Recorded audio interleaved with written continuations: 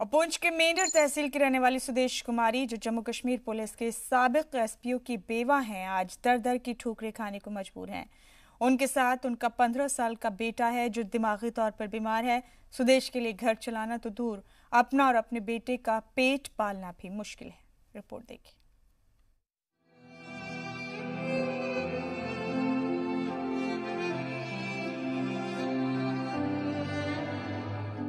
किसी खातून के लिए शौहर के इंतकाल के बाद ज़िंदगी पहाड़ की तरह भारी हो जाती है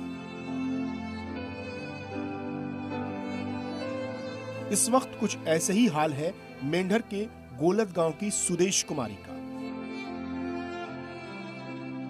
जो गुजश्ता पंद्रह बरसों से अकेले ही कुनबे की ज़िम्मेदारी संभाल रही हैं।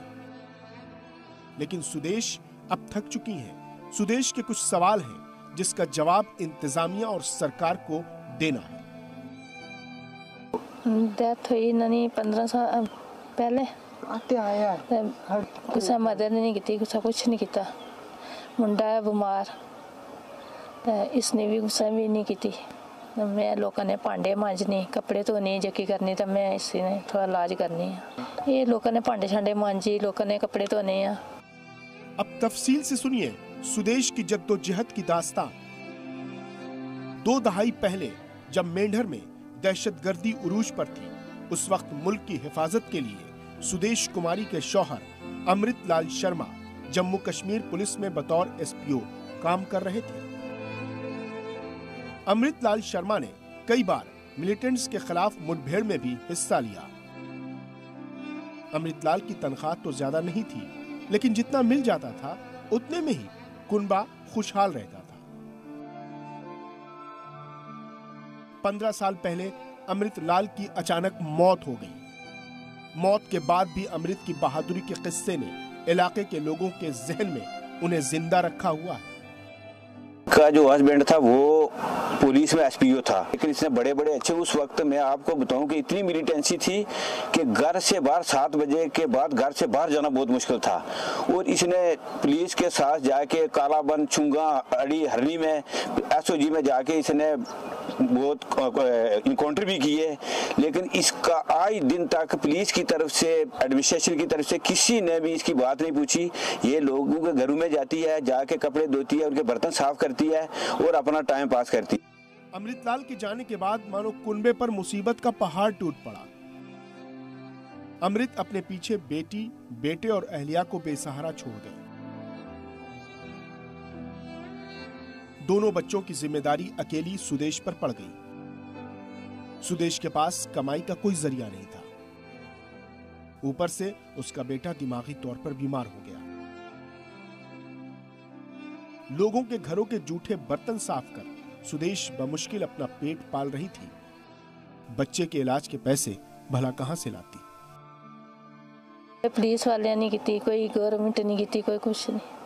कृपया नहीं लब्भा आई थोड़ी कुछ को लो तक्की ले ना अपने हिसाब नाल। मकान ना तो कोई टेने वाला है ना सारा। अंदर बाहर तुस तक्की लो, सारा कुछ। मैं आनी है कि मैं मदद लगनी चाहिए मेरा मुंडा भी बीमार है मुंडे ने भी ए, मकान ने भी। सुदेश का मकान कच्चा है। किस दिन जमींदोज हो जाए, कहा नहीं जा सकता। सुदेश को ना तो पीएम आवास योजना का फ़ायदा मिला, ना ही आयुष्मान भारत योजना का। ऐसे में सवाल यह है कि ये मंसूबे चलाए किसके लिए जा रहे हैं? सुदेश को आज तक इन मंसूबों का फ़ायदा क्यों नहीं मिला?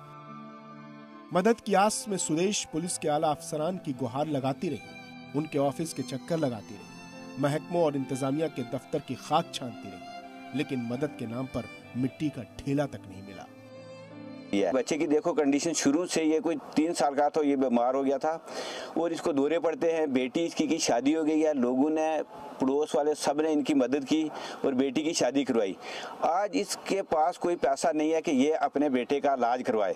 मकान की कंडीशन आपने देख ली है कि मकान इसका चारों तरफ़ से आपने देखा है कि दीवारें गिरी हुई हैं और ऊपर छत भी नहीं है। इसने कागज़ डाला हुआ बारिशों में पूरा पानी अंदर आता है। मेंढर के एसडीएम डॉक्टर साहिल जंडियाल से जब जी मीडिया की टीम ने सुदेश कुमारी को हो रही परेशानी के बारे में सवाल किया तो उन्होंने कहा कि मामला अब उनकी नज़र में आया है। उन्होंने यकीन दिलाया कि सुदेश की हर मुमकिन मदद की जाएगी। ये आपने जो एक इशू है, ये मेरी नॉलेज में लाया है। इसमें अभी मैंने कंसर्न ग्राम सेवक और उनसे भी जो अपने लेवल पे जो पूछा है, उसमें जो हमारा I P M A Y का जो सर्वे था 2011 में कंडक्ट हुआ था। फ़र्स्ट इनिशियली फ़र्स्ट सर्वे में उनका नाम नहीं था, उनकी फैमिली मेंबर का। तो बाद में जो उसमें लेफ़्ट आउट जो सर्वे है उसमें उनका नाम गया हुआ है। तो जो उनका जो नाम है वो प्रायोरिटी पे है। जो ही आगे लिस्ट जो सेंक्शन होती है उसमें उनको जो पी एम ए वाई जो स्कीम है उसके तहत उनको मदद दी जाएगी। वो मैं, मैं पुलिस डिपार्टमेंट से टेकअप करूँगा कि उसके उसके में भी कुछ उनको कोई राहत या कोई कंपनसेशन मिली है या कुछ जो भी एज पर रूल्स उनको जो मदद हो सकेगी वो मैं पुलिस डिपार्टमेंट से टेकअप करूँगा। एसडीएम मदद की बात तब कह रहे हैं जब जी मीडिया की टीम ने सुदेश कुमारी की परेशानी बयान करने का जिम्मा उठाया। सवाल यह है कि आखिर पंद्रह वर्षों से किसी ने सुदेश की मदद क्यों नहीं की? आज भी न जाने कितने और भी लोग होंगे जिन्हें सरकारी मंसूबों का फ़ायदा मिलना चाहिए, लेकिन उन तक मदद नहीं पहुँच रही है। मंसूबे जरूरतमंदों के लिए ही बनते हैं तो जरूरतमंदों की शिनाख्त जिम्मेदार ऑफिसर्स क्यों नहीं कर पा रहे जी मीडिया के लिए पुंछ से रमेश पाली की रिपोर्ट।